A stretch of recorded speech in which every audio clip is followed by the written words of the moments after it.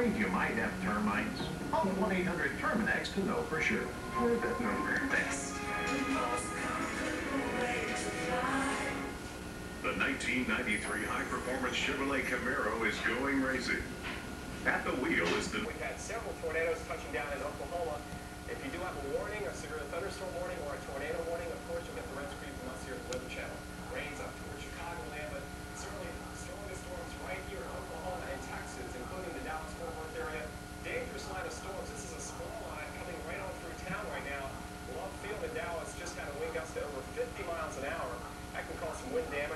reports of nickel to dime-sized hail, and of course, they're continuing through the early hours of Sunday morning. We'll get that forecast for Sunday coming up. Spring